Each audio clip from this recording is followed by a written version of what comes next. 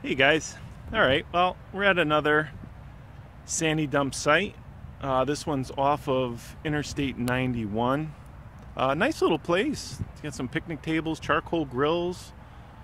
You see the sign right there for 91. Um, I don't expect there to be a lot of people here, so I'm flushing my tanks real good, taking my time before I get back on the road. But let me show you what I got going on inside.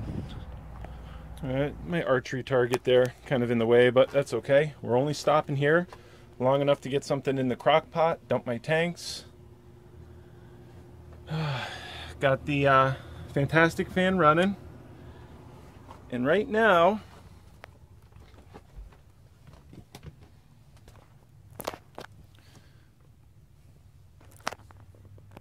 solar's bringing in about 13 amps, 14 amps. Batteries still look good. So we're gonna cook some dinner while we're driving. I'm gonna try something new today. Um, we're gonna try to cook frozen miniature meatballs and frozen miniature raviolis right in the crock pot without boiling them. I'm gonna cook it right in the sauce. I've never tried this before, so this will be an interesting experiment. All right, so what we have here are some turkey meatballs. Say they're fully cooked, so I don't have to worry about it.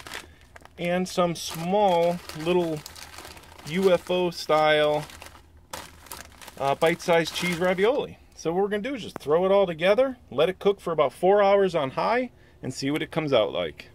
All right, so all I did was throw in the meatballs, the ravioli, I mixed them so they're, you know, blended in together.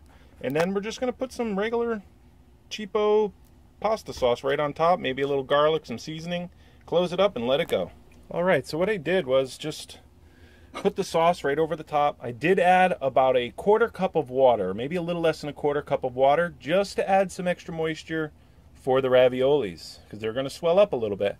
Now we'll put the lid on, we'll strap it down with the, the little bungee cord there, and then we're gonna set it in the sink and get back on the road. All right, guys, well, the next time you see this, It'll be about four hours from now, and I should be at my destination.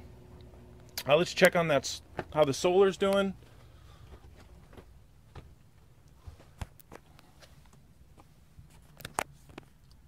You'll see there, pulling in about 15.4 amps, which is more than enough.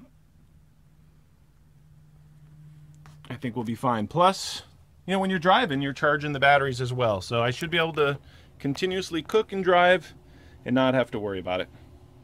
All right, guys. Well, I'll show you when it's done. All right. So, we've been driving, and the uh, crock pot stayed in the sink the whole time. It is now 5 of 4. Um, let me show you the site real quick so you guys can see I'm no longer. So just got in, just setting up a little bit. Okay, we're in a state forest. But I wanted to show you the ravioli. Now, I haven't stirred it, tasted it, or done anything with it. Um, it is on low. I did move it to low. You can see my shadow. There we go. We'll add a little light.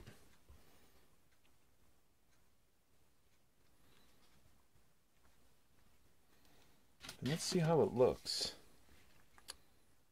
Wow, the raviolis look awesome.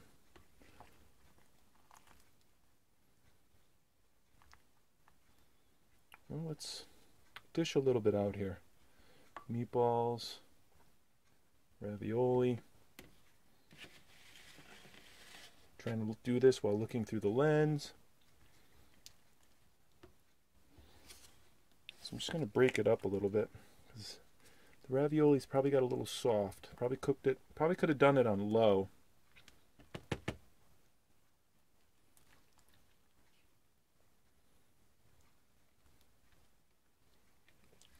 Awesome, let's try it. All right, guys, check this out.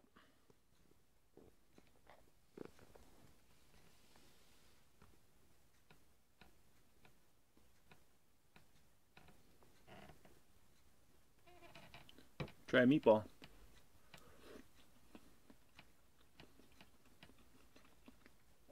Not bad, a little soft. Crushed red pepper was a good touch. Let's try another one. Ooh, that's hot. Raviolis, I gotta say. Where's the camera here? Ravioli stayed together really well. Hmm. You know something? Granted, it's jarred sauce.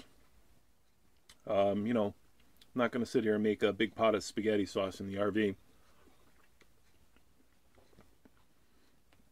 But it's having a meal like this. You know, in nothing. I mean, it would it take to set it up?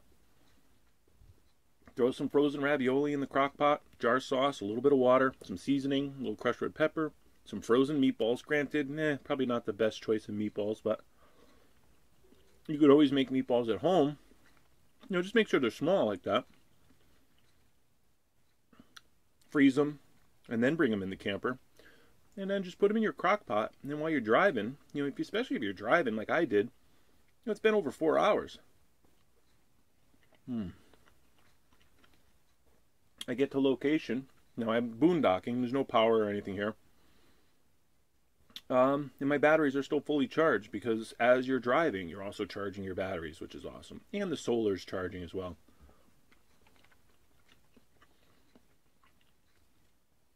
Hmm. I was starving. You know something?